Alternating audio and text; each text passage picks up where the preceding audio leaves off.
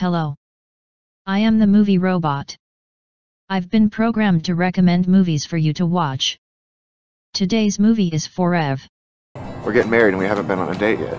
So Uh, Pete. What do you think this was? Pete and Sophie live next to each other in the apartment complex. Pete does over the phone computer tech support. Sophie is a struggling actress. Sophie isn't happy about her life. She comes into Pete's apartment and lays down on the floor. She wants to stay there forever. Pete jokes that if Sophie is going to remain, they should get married. Sophie accepts the proposal. Pete and Sophie don't know much about each other. But Pete has to pick up his sister from college. They have a six-hour drive ahead of them.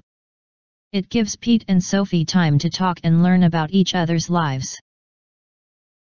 When Jess hears about Pete and Sophie getting married, she doesn't know what to think about their upcoming nuptials. Except they are both crazy. And the movie goes on from there. Forev is a charming romantic comedy. If you like rom-coms, give it a try sometime.